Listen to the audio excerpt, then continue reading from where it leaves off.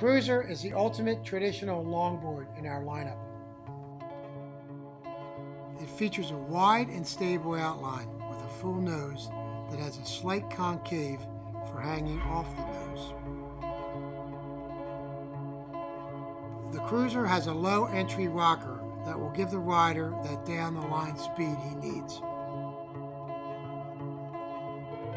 The rails are 50-50 in the middle that transition to a pinched out rail in the tail. The bottom features a slightly rolled belly out the back that allows the rider to move from rail to rail. The Cruiser is the perfect board for easy gliding and trimming down the line.